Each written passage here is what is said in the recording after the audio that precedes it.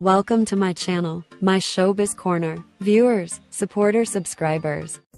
Hello Etians! Welcome back to my channel, Kin or Philip. Very thankful at grateful sa mga fans dahil uh, kahit uh, ano pa man mangyari ay laging andyan para sa kanya, laging maaga sa mga concert, sa mga shows niya at uh, ito nga ay gusto niyang bayaran ang pagiging uh, supportive ng mga fans niya at uh, laging maaga daw sa mga venue ng concert niya at mga shows kaya nais niyang bayaran at suklian ang mga ito para sa kanyang mga fans.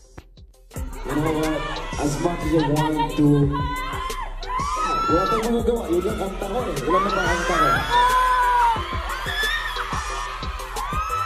Sobrang ko. Kasi nag-perform ako tapos sobrang bilis, sobrang bilis yan. You know, like, napapansin ko, pag may event kami, pag, pag may event ako, ang aga-aga nyo nandyan, and you know, the effort, gusto kong gusto kong bayaran, but wala eh. Yung kanta ko, ilan lang pa kanta ko? 1, 2, 3, 4,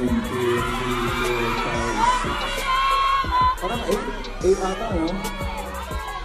I have 8? Ha? 9? 9? 20 ah.